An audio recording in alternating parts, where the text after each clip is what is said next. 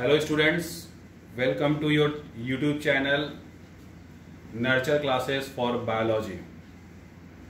Today we will continue the chapter 10 of class 11 biology cell cycle and cell division.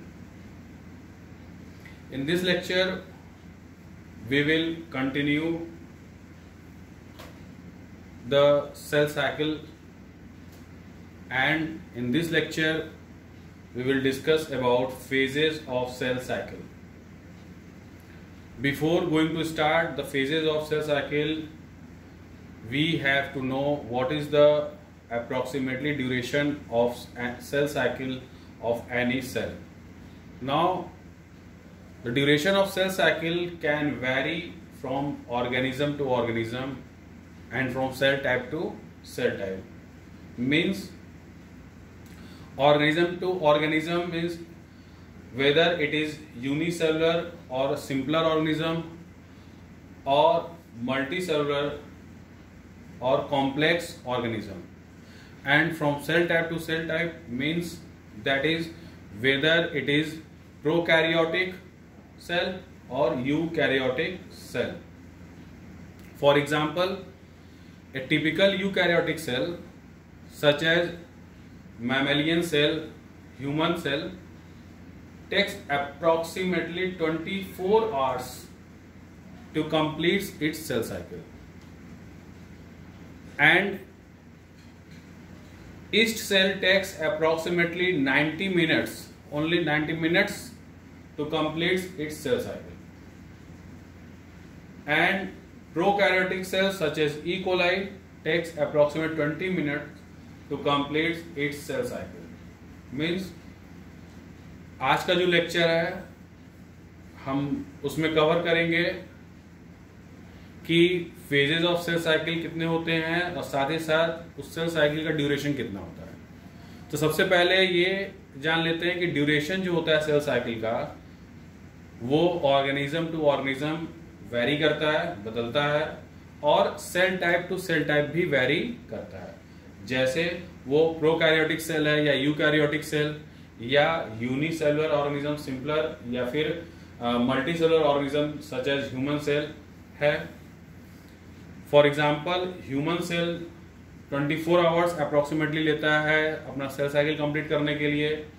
या फिर east है, वो 90 minutes ही लेता है अपना सेल साइकिल कंप्लीट करने के लिए। और प्रोकैरियोटिक सेल जैसे ई कोलाई शीरिशिया कोलाई वो 20 मिनट्स लेता है अप्रोक्सीमेटली अपना सेल साइकिल कंप्लीट करने के लिए।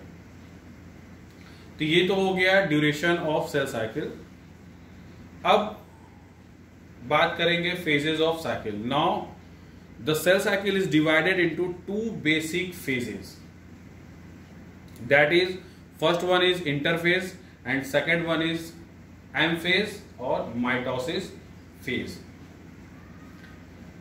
interphase in order to study properly. It is further divided into three phases. That is G1 phase means gap 1 phase S phase means synthesis phase and third one is G2 phase that is gap 2 phase. In M phase it is also divided into two parts that is karyokinesis and second one is cytokinesis. Karyokinesis means karyo means nucleus, kinesis means division. Means it is division of nucleus and cytokinesis means cyto means cytoplasm and kinesis means division. That is division of cytoplasm. And in karyokinesis it is further divided into four phases. That is prophase, metaphase, anaphase and telophase. Now, what is happening in interphase and M phase?